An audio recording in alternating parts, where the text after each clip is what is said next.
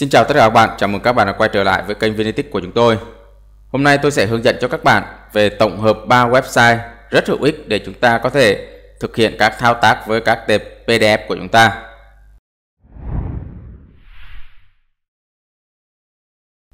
Đầu tiên đó là trang web pdfcandy.com. Với website này chúng ta có thể thực hiện được hầu hết các thao tác đối với tệp PDF. Tôi sẽ giới thiệu cho các bạn về các chức năng của website này như sau. Thứ nhất đó là compress, có nghĩa là nén tệp PDF nhằm giảm dung lượng của tệp PDF xuống. Thứ hai, merge, có nghĩa là trộn nhiều tệp PDF thành một tệp duy nhất. Hoặc PDF to Word, có nghĩa là chuyển tệp PDF sang tệp Word. Hoặc Word sang PDF. Hoặc chúng ta cũng có thể chuyển từ tệp Excel sang tệp PDF. Tệp ảnh JPG sang tệp PDF.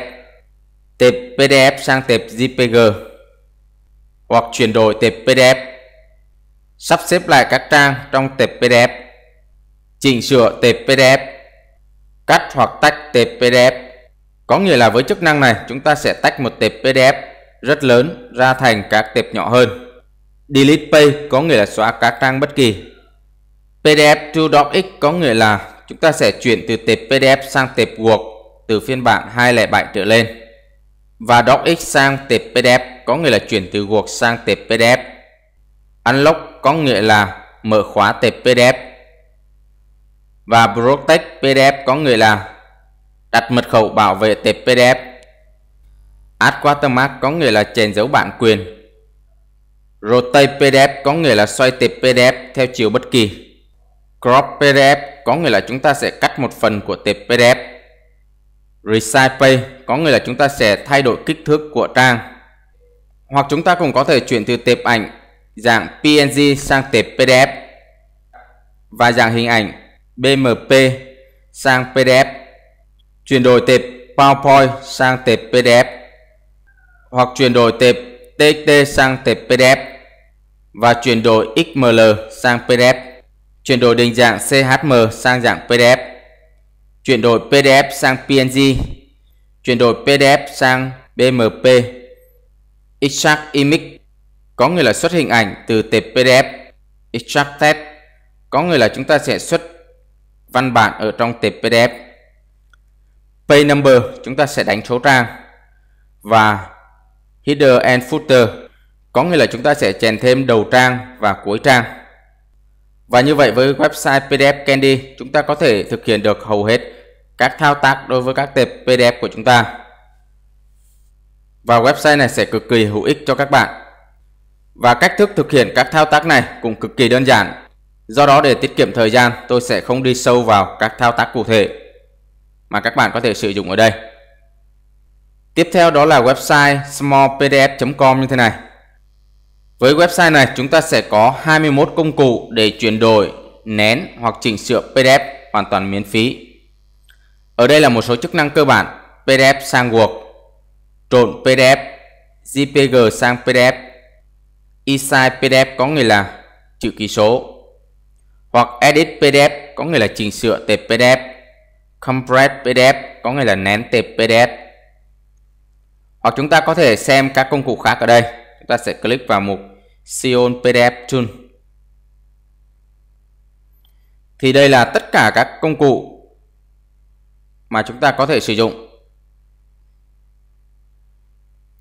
nén tệp PDF, chuyển đổi tệp PDF, chuyển đổi PowerPoint sang PDF, chuyển đổi PDF sang PowerPoint, chuyển đổi JPG sang PDF, chuyển đổi PDF sang JPG, chuyển đổi Excel sang PDF, chuyển đổi PDF sang Excel, chỉnh sửa tệp PDF,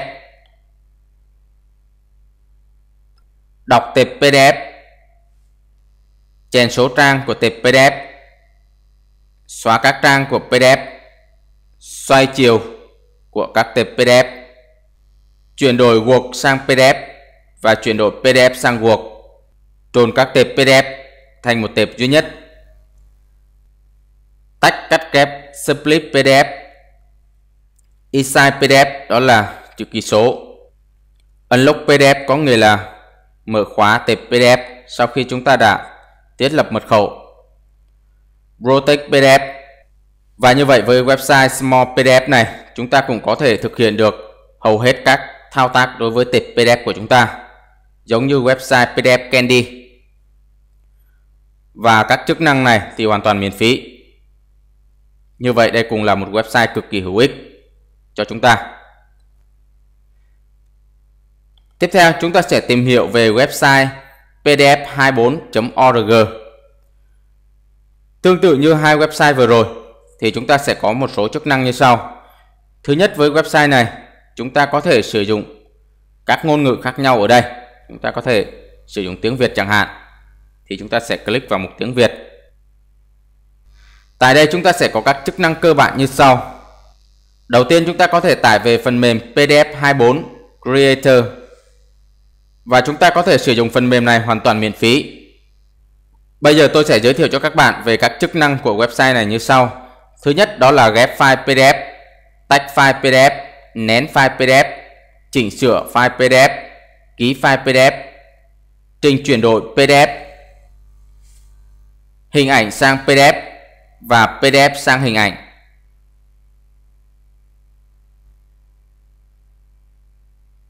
Xuất hình từ PDF, khóa PDF. Mở khóa PDF, xoay PDF. Xóa trang PDF. Xuất trang PDF, sắp xếp trang PDF. Trang web sang PDF và tạo ứng dụng PDF.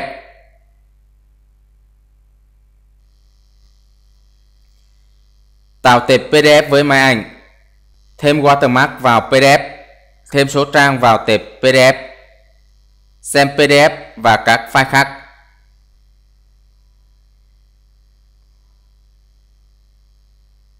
PDF Overlay so sánh các file PDF, file PDF tối ưu hóa cho website, chú thích PDF, làm tối PDF.